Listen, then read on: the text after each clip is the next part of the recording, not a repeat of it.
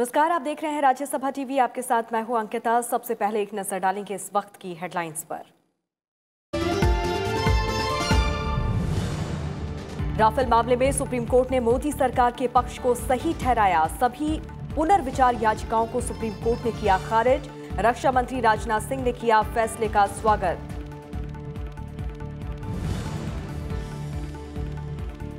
ग्यारहवें BRICS summit business forum में प्रधानमंत्री नरेंद्र मोदी का संबोधन, कहा, दुनिया के आर्थिक विकास में ब्रिक्स की अहम भागीदारी करोड़ों लोगों को गरीबी से निकालने में मिली कामयाबी। 2024 तक भारत को 5 ट्रिलियन डॉलर की अर्थव्यवस्था बनाने का लक्ष्य। आज संप्रभुता की चुनौती और ब्रिक्स नेटवर्क बढ़ाने पर होगी चर्चा।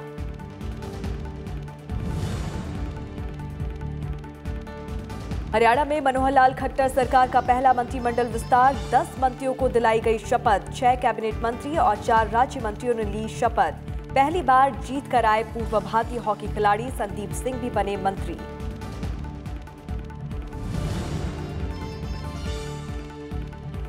बाल दिवस पर उपराष्ट्रपति एम वेंकैया नायडू ने किया बच्चों से संवाद, बच्चों को नेचर और कल्चर से जुड़ने की दी सीख। स्वच्छ भारत और फिट इंडिया कार्यक्रम में भागीदारी करने को कहा।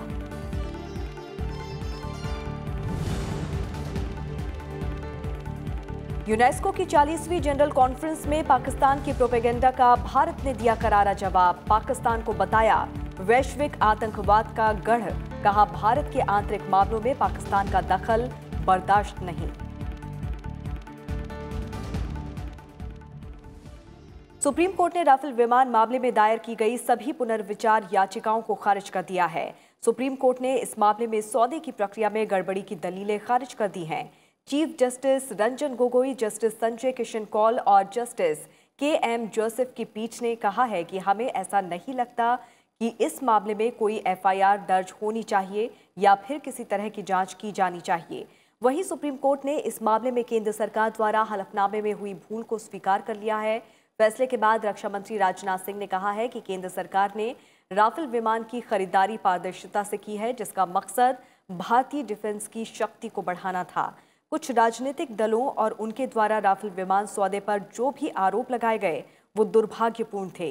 ये फैसला इस बात को साबित करता है कि नेताओं को कोई भी आरोप लगाने से पहले काफ़ी सतर्क रहना चाहिए।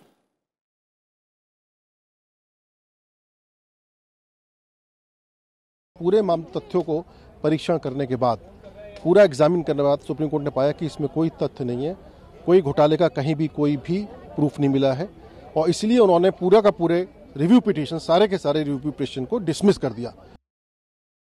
आज सुप्रीम कोर्ट ने राफेल केस को लेकर दायर की गई रिव्यू पिटिशन को पूरी तरह से खारिज कर दिया है।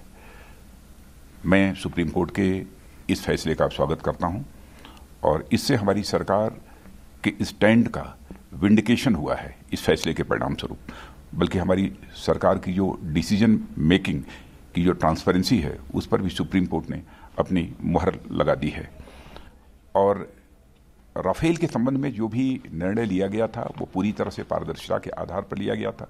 कुछ लोगों के द्वारा जानबूझकर, निहित राजनीतिक स्वार्थ को पूरा करने के लिए इसका राजनीतिकरण करने की कोशिश की गई।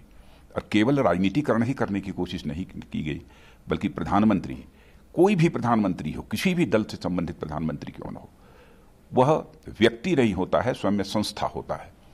तो इस संस्था को भी बदनाम करने की भरपूर कोशिश कुछ लोगों के द्वारा की गई है। I had made a statement that supreme court has given a very fine judgement at that time lot of people told me you know commented that is political and thing like that which is totally incorrect we we on the merits of the case we had said it is a very fine judgment and uh, I think that has been uh, vindicated.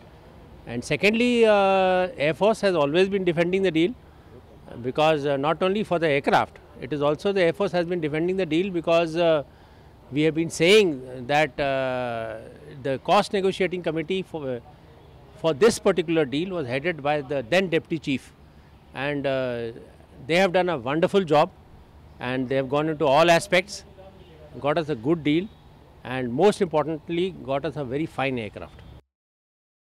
मानहानि मामले में supreme court ने कांग्रेस के पूर्व अध्यक्ष राहुल गांधी की माफ़ी को मंजूर कर लिया है। कोर्ट ने साफ़ कर दिया है कि अब राहुल के खिलाफ अवमानना का केस नहीं चलेगा। अपने फैसले में सुप्रीम कोर्ट ने कहा कि संवैधानिक पदों पर बैठे लोगों को सावधानी से बयान देना चाहिए। कोर्ट को राजनीतिक विवाद में घसीटना गलत है। राहुल गांधी ने माफ़ी मांग ली थी और हमने माफ़ी को मंजूर कर लिया है। राहुल गांधी के खिलाफ बीजेपी सांसद मीनाक्षी लेखी ने अवमानना याचिका दाखिल की थी।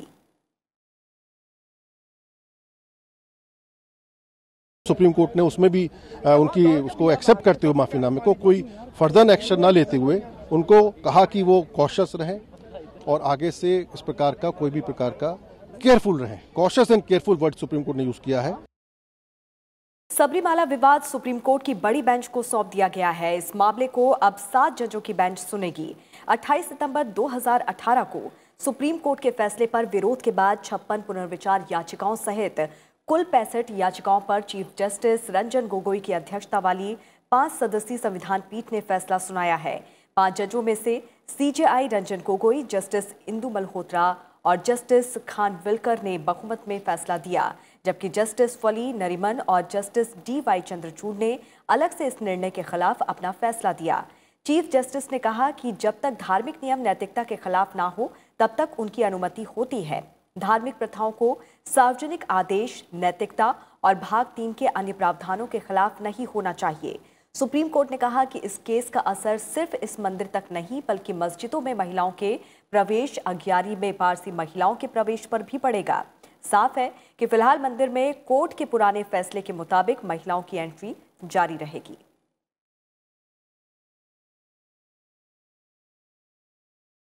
ब्राज़ील की राजधानी ब्राजीलिया में प्रधानमंत्री नरेंद्र मोदी ने ब्रिक्स बिज़नेस फोरम को संबोधित करते हुए कहा कि वैश्विक मंदी के बावजूद ब्रिक्स देशों ने आर्थिक विकास को गति दी है। करोड़ों लोगों को गरीबी से निकाला है। प्रधानमंत्री ने कहा है कि भारत में राजनीतिक स्थिरता विश्वसनीय नीति और व्यवसाय के अनुकूल सुधार के कारण दुनिया का सबसे ओपन और बिज़नेस फ्रेंडली वातावरण है। उन्होंने कहा कि भारत में असीम संभावनाएँ हैं और वो 2024 तक भारत को पाँच ट्रिलियन डॉलर की इकोनॉमी बनाना चाहते हैं। विश्व में मंदी के बावजूद ब्रिक्स देशों ने आर्थिक विकास को गति दी है। करोड़ों लोगों को गरीबी से बाहर निकाला है। और टेक्नोलॉजी तथा इनोवेशन में नई नई सफलताएँ हासिल की हैं। अब ब्रिक्स की स्थापना के 10 साल बाद भविष्य में हमारे प्रयासों की दिशा पर विचार करने के लिए यह फोरम एक अच्छा मंच है।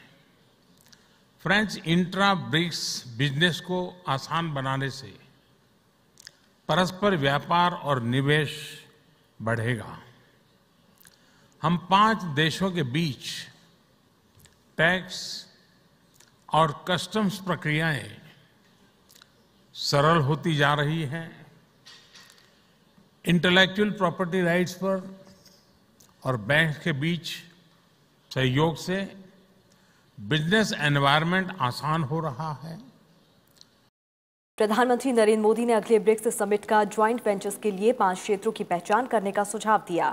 प्रधानमंत्री ने कहा कि प्राइवेट सेक्टर ह्यूमन रिसोर्सेज पर केंद्रित प्रयासों से जुड़ा हुआ है। साथ ही प्रधानमंत्री ने ब्रिक्स देशों को बिज़नेस के लिए आमंत्रित किया। अगले दस वर्षों के लिए हमारे बीच बिज़नेस में प्राथमिकता के क्षेत्रों की पहचान की जाए और उनके आधार पर इंट्रा ब्रिक सहयोग का ब्लूप्रिंट बनाया जाए।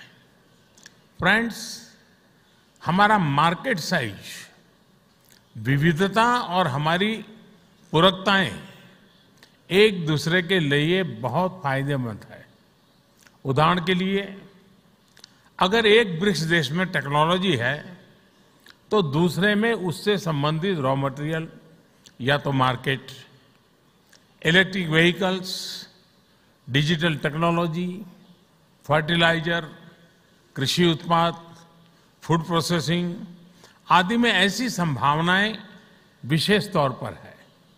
मैं आग्रह करूँगा कि फोरम पाँचों देशों में इस प्रकार की पूरकताओं की मैपिंग करें। मैं ये सुझाव भी देना चाहूँगा कि अगले ब्रिक्स समिट तक ऐसे कम से कम पाँच क्षेत्रों की पहचान की जाए, जिनमें पूरकताओं के आधार पर हमारे बीच ज्वाइंट वेंचर्स बन सकते हैं। ब्रिक्स सम्मेलन में हिस्सा लेने से पहले प्रधानमंत्री नरेंद्र मोदी ने रूस के राष्ट्रपति व्लादिमीर पुतिन, चीन के राष्ट्रपति शी जिनपिंग और ब्राज़ील के राष्ट्रपति जायर बोल्सोनारो से मुलाकात की। ब्राजीलिया में प्रधानमंत्री नरेंद्र मोदी ने सबसे पहले रूस के राष्ट्रपति व्लादिमीर पुतिन से मुलाकात की। इस मौके पर दोनों देशों के बीच द्विपक्षीय मुद्दों पर बातचीत हुई। इस मौके पर रूस के राष्ट्रपति ने प्रधानमंत्री नरेंद्र मोदी को अगले वर्ष विक्ट्री डे पर मॉस्को आने का निमंत्रण दिया, जिसे प्रधानमंत्री ने स्वीकार कर लिया है। वहीं प्रधानमंत्री नरेंद्र मोदी ने यहाँ चीन के राष्ट्रपति शी जिनपिंग के साथ मुलाकात की और उनके साथ द्विपक्षीय संबंधों को मज़बूत करने के तौर तरीकों पर चर्चा की। इस दौरान दोनों नेताओं ने आतंकवाद, कट्टरपंथ से संयुक्त रूप से लड़ने, द्विपक्षीय व्यापार और निवेश को बढ़ाने पर चर्चा की। प्रधानमंत्री नरेंद्र मोदी और शी जिनपिंग के बीच सीमाओं पर शांति बनाए रखने को लेकर भी चर्चा हुई। दोनों नेताओं ने इस बात पर सहमति व्यक्त की कि दोनों देशों के विशेष प्रतिनिधि बातचीत करके सीमा पर तनाव को खत्म करेंगे। प्रधानमंत्री नरेंद्र मोदी ने ब्राज़ील के राष्ट्रपति जायर बोल्सोनारो से भी मुलाकात की है। प्रधानमंत्री ने उन्हें भारतीयों को वीज़ा फ्री एंट्री के लिए धन्यवाद दिया। साथ ही उन्हें अगले साल गणतंत्र दिवस समारोह में मुख्य अतिथि बनने का निमंत्रण दिया। इस दौरान दोनों नेताओं ने अंतरिक्ष और रक्षा क्षेत्रों सहित सहयोग के अन्य क्षेत्रों पर भी चर्चा की।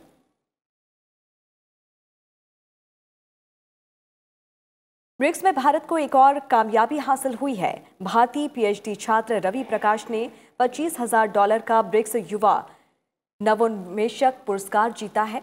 ICAR national dairy research institute के पीएचडी छात्र रवि प्रकाश चौथे ब्रिक्स युवा वैज्ञानिक मंच 2019 के लिए विज्ञान एवं प्रौद्योगिकी विभाग द्वारा ब्राज़ील भेजे गए 21 सदस्यीय प्रतिनिधि मंडल का हिस्सा थे। रवि प्रकाश बिहार के रहने वाले हैं। विदेश मंत्रालय के प्रवक्ता रवीश कुमार ने ट्वीट कर ये जानकारी दी। छोटे एवं सीमांत ग्रामीण डेयरी किसानों की जरूरतों को पूरा करने के लिए कच्चा दूध को अत्याधुनिक ठंडा करने वाली वहनीय स्वदेशी इकाई का आविष्कार करने के लिए रवि प्रकाश को ये पुरस्कार मिला है।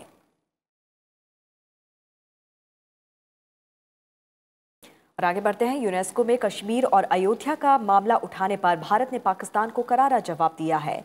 भारत ने कहा है कि पाकिस्तान को हमारे अंदरूनी मामलों में टांग अड़ाने की मानसिक बीमारी है। यूनेस्को में तैनात भारतीय राजनयिक अनन्या अग्रवाल ने कहा है कि जम्मू कश्मीर और लद्दाख भारत का हिस्सा हैं। अनन्या अग्रवाल ने कहा है कि पाकिस्तान हमेशा से भारत के आंतरिक मामलों में दखल देता रहा है, जो स्वीकार के योग्य नहीं है। Mr. President, my delegation takes the floor to exercise its right of reply to refute Pakistan's juvenile propaganda to malign India through fabricated lies full of deceit and deception. We condemn the unwarranted comments made by Pakistan on the judgment of the Supreme Court of India. The judgment is about the rule of law, equal respect for all faiths, concepts that are alien to Pakistan and its ethos. So while Pakistan's lack of comprehension is not surprising, their pathological compulsion to comment on our internal affairs with the obvious intent of spreading hatred is condemnable. Mr. President, the Union territories of Jammu and Kashmir and Ladakh have always been, are, and shall always be an integral part of India. Pakistan's intervention is an interference in India's internal affairs. It is unacceptable and we reject it.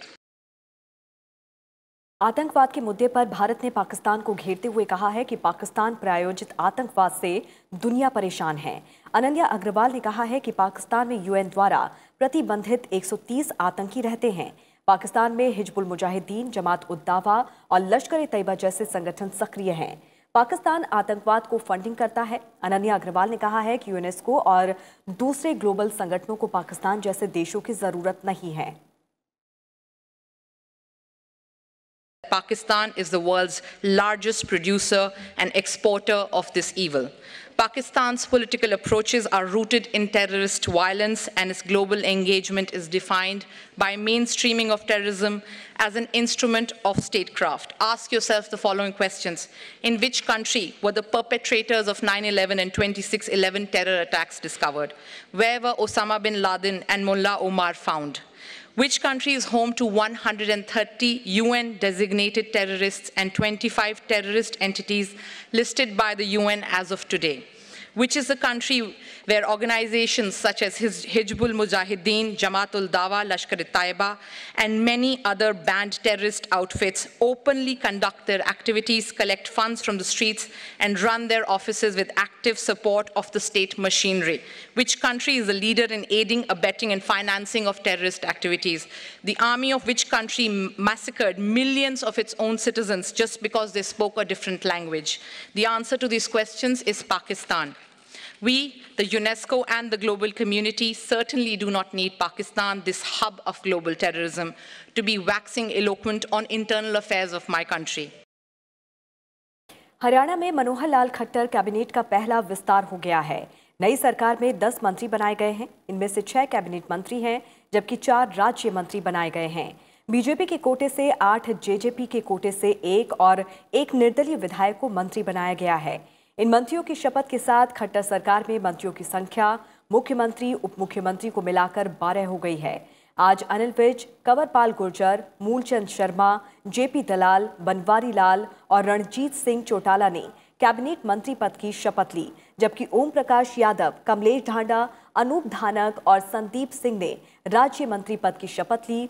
शपथ लेने वालों में ओम प्रकाश चौटाला के छोटे भाई और रानिया से निर्दलीय विधायक रणजीत सिंह भी शामिल हैं।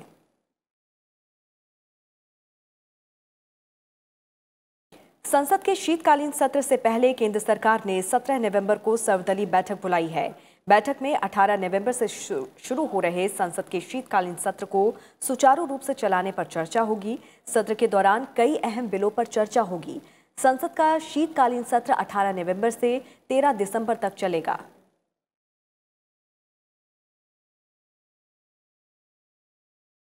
कामकाज के सिलसिले में एक राज्य से दूसरे राज्य में जाने वाले लोगों के लिए अपने आधार कार्ड में नया पता बदलवाने की प्रक्रिया आसान कर दी गई है। सरकार ने ऐसे प्रवासियों के लिए आधार का पता बदलने की प्रक्रिया सरल कर दी है।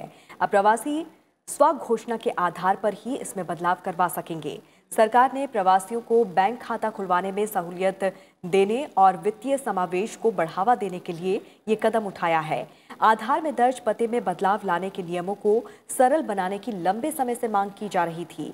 अब प्रवासियों का मूल पता उनके आधार कार्ड में रहेगा और वो कार्यस्थल का वर्तमान पता इसमें लिखवा सकेंगे।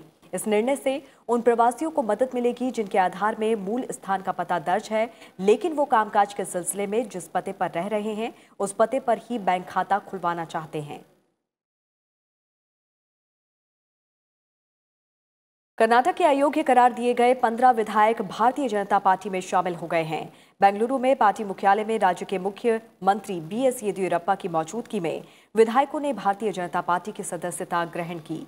इससे पहले सुप्रीम कोर्ट ने इन सभी विधायकों के उपचुनाव लड़ने पर लगी रोक को हटा दिया था। हालाँकि कोर्ट ने अयोग्य करार देने वाले स्पीकर के फैसले को सही माना था। विधायकों को अयोग्य करार दिए जाने के बाद हो रहे पंद्रह सीटों पर उपचुनाव पाँच दिसंबर को होना है। बाल दिवस के मौके पर उपराष्ट्रपति एम वेंकैया नायडू ने अपने आवास पर पूर्व प्रधानमंत्री पंडित जवाहरलाल नेहरू को श्रद्धांजलि दी। साथ ही हरियाणा, उत्तर प्रदेश और अन्य पड़ोसी राज्यों के प्राइवेट और सरकारी स्कूल के छात्रों से मुलाकात कर उन्हें शुभकामनाएँ दी। उपराष्ट्रपति ने इस मौके पर कहा कि नेहरू बच्चों से बहुत प्यार करते थे और उनकी शिक्षा के लिए हमेशा खड़े रहते थे। नेहरू ने हमेशा बच्चों की खुशी, उनके सपनों को पूरा करने की कोशिश की।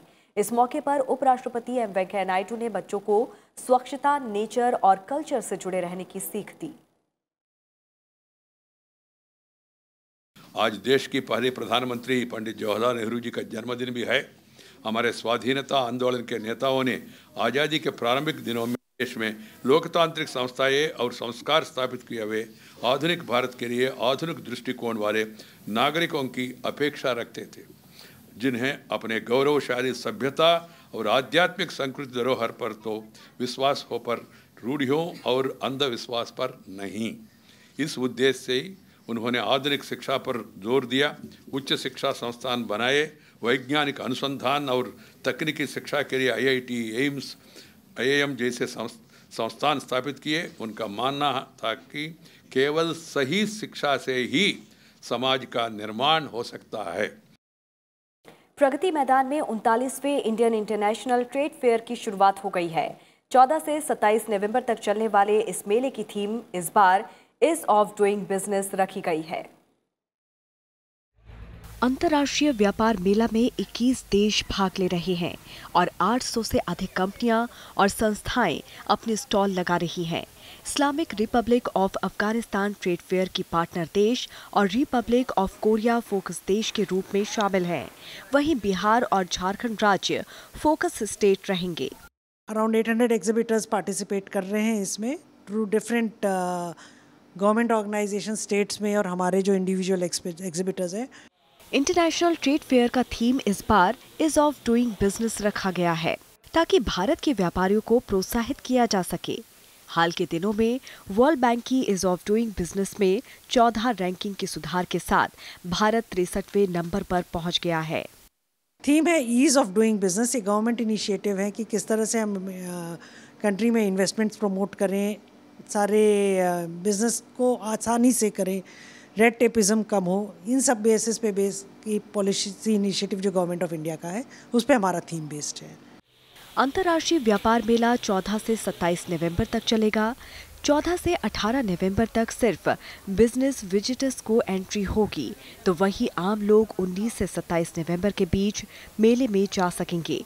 बहुत एक्साइटेड हैं. एक्चुअली अगर आप किसी भी इंडियंस को देखेंगे तो होता क्या है अगर झारखंड में रहते हैं तो झारखंड के बारे में जानते हैं। एमपी में रहते हैं तो एमपी के बारे में जानते हैं यूपी में जाते हैं तो यूपी के बारे में जानते हैं। बट अगर आप यहाँ आकर देखेंगे तो आपको लगेगा कि पूरा इंडिया एक जगह आकर आ गया है। मेले में सुबह साढ़े नौ बजे से शाम पाँच बजे तक एंट्री मिलेगी। तो वहीं मेले की टिकट बुक माई शो के साथ दिल्ली मेट्रो के छियासठ स्टेशनों पर उपलब्ध होंगे। गेट नंबर एक और दस से ही प्रवेश करने की व्यवस्था की गई है। वहीं आम लोग भी मेले को लेकर काफ़ी उत्सुक हैं। कुणाल चौहान के साथ bureau report, Rajya Sabha TV. Delhi NCR में प्रदूषण का स्तर लगातार गंभीर होता जा रहा है। वायु गुणवत्ता सूचकांक 500 के पार पहुँच गया है।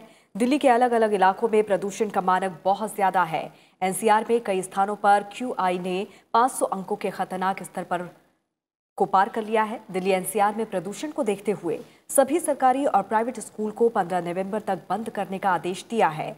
पर्यावरण प्रदूषण नियंत्रण एवं रोकथाम प्राधिकरण ने दिल्ली एनसीआर में हॉट मिक्स प्लांट और स्टोन क्रशर के इस्तेमाल पर रोक के आदेश को 15 नवंबर तक बढ़ा दिया है। इससे पहले बुधवार को दिल्ली एनसीआर और आसपास के राज्यों में बढ़ते प्रदूषण पर सुप्रीम कोर्ट ने सख्ती भी दिखाई। सुप्रीम कोर्ट ने सरकार और स्टेक होल्डर को कहा कि वो प्रदूषण कम करने के लिए गंभीर और स्थायी उपाय करें। कोर्ट ने प्रदूषण से निपटने के लिए वैकल्पिक तकनीकों का इस्तेमाल करने का आदेश दिया। आज विश्व मधुमेह दिवस है। मधुमेह मेटाबॉलिक बीमारियों का एक समूह होता है और इसकी कोई उम्र नहीं होती है, यानी कि किसी भी उम्र में हो जाता है। जानकार मानते हैं कि बचपन से ही अगर सावधानी बरती जाए तो इस बीमारी की उम्र घटा सकते हैं और अपनी बढ़ा सकते हैं। दिल्ली के रहने वाले अनिल दीक्षित को 29 अक्टूबर को ही मालूम चला कि उन्हें डायबिटीज़ है। अनिल की बड़ी बहन को भी यही बीमारी थी, लेकिन टाइप वन डायबिटीज़ होने के कारण अनिल की बहन ने 31 साल की उम्र में अपनी जान गंवा दी। कह सकते हैं कि अनिल को ये बीमारी जेनेटिक है, लेकिन अनिल ने इस पर ध्यान नहीं दिया और छोटी उम्र में इस बीमारी की चपेट में आ गए। सलाद वगैरह मतलब वैसे ही वो सब भी खा रहे हैं तो एक उनको भी अफेक्ट कर रही है उसी तरीके से। उनको भी मेरे मेरे मोटिवेशन के लिए उनको भी मेरे साथ सुबह उठना पड़ रहा है एक्सरसाइज करनी पड़ रही है कि ताकि मेरा मोटिवेशन हो।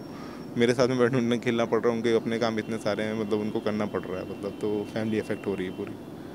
दरअसल डायबिटीज़ अक्सर उन लोगों को होता है, जिनकी जीवन शैली बिगड़ी हुई होती है। इसमें मोटापा, अधिक मसालेदार खाना, ज़्यादा कार्बोहाइड्रेट का सेवन और कम व्यायाम करना इसकी बड़ी वजह है। लेकिन अगर आपको हाथ पैर में अकड़न और शरीर में झंझनाहट हो बार बार पेशाब आए, बहुत ज़्यादा प्यास लगे, गला सूखे, खाना खाने के बाद भी बहुत भूख लगे कमज़ोरी और थकान की शिकायत हो तो डॉक्टर की अवश्य सलाह ले। इसके अलावा आँखों की रोशनी कम होना, त्वचा या मूत्र मार्ग में संक्रमण, वज़न में कमी होना, सिर दर्द, चोट या घाव जल्दी ठीक ना होना भी डायबिटीज़ के लक्षण होते हैं। एसिम्टोमेटिक डिसीज है मतलब कोई तकलीफ़ जनरली नहीं कराती है। लोगों को जिनको बहुत ज़्यादा ब्लड शुगर तीन, साढ़े तीन सौ हो तो उनको वेट लॉस उनको ज़्यादा प्यास लगना, कमज़ोरी होना और एक तकलीफ़ हो सकती है, ज़्यादा यूरिन पास करना। लेकिन generally large number of population को जब तक स्क्रीन मतलब टेस्ट नहीं की जाए, तब तक आपको डायबिटीज़ के बारे में मालूम नहीं चलेगी। इसलिए ये बीमारी लोगों को मालूम चलती भी है तो लोग इग्नोर करते हैं टेस्ट नहीं कराते हैं। इसका सबसे सिंपल है कि आपको टेस्ट कराने की ज़रूरत है। डायबिटीज़ जेनेटिक भी होता है। जानकार मानते हैं कि डायबिटीज़ के मरीजों को सही दिनचर्या की ज़रूरत होती है। सक्रिय जीवन शैली अपनाना डिब्बा बंद आहार, बासी खाना, फास्ट फ़ूड, जंक फ़ूड, ज़्यादा नमक और चीनी, ज़्यादा तेल मसाले वाला भोजन, आलू, चावल और मक्खन आदि, शराब और सिगरेट से दूरी बनाए रखना ज़रूरी होता है। समय से खाना खाकर संतुलित आहार लेकर, सैर, एक्सरसाइज और वॉक वगैरह ज़रूर नियमित रूप से कर कर और अच्छी मात्रा में पानी लेकर, कोल्ड ड्रिंक्स और जूस का सेवन आजकल बहुत ज़्यादा हो गया है, जिसकी वजह से डायबिटीज़, कई स्टडीज़ में दिखाया गया कि उसकी वजह से डायबिटीज़ हो जाती है, उनको कम से कम रखकर। इंटरनेशनल डायबिटीज़ फेडरेशन की ओर से इस साल डायबिटीज़ डे की थीम है परिवार और डायबिटीज़, यानी फैमिली एंड डायबिटीज़, क्योंकि बीमारी चाहे जो भी हो परिवार का एक सदस्य बीमार हो तो असर पूरे परिवार पर पड़ता है। बेहतर है, पहले से सावधानी बरतें और अपने आप को तंदुरुस्त रखें। अनु दीवान, राज्यसभा टीवी। और इसी के साथ इस बुलेटिन में फ़िलहाल इतना ही। अंत में एक नज़र डाल लेते हैं देश भर के मौसम के हाल पर।